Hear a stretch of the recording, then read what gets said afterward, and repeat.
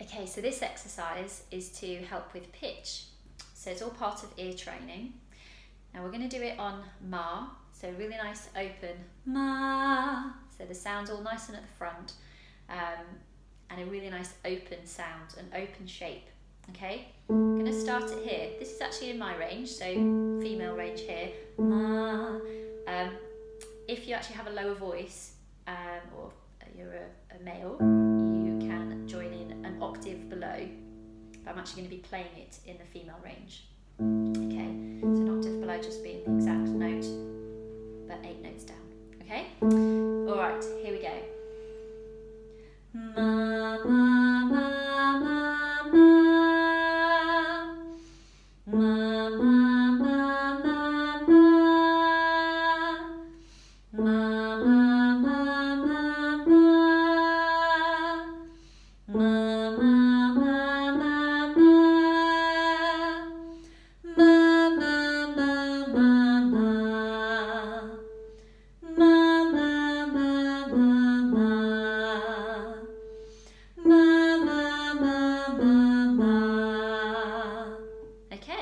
so yeah, we're going up four times and then coming back down four times.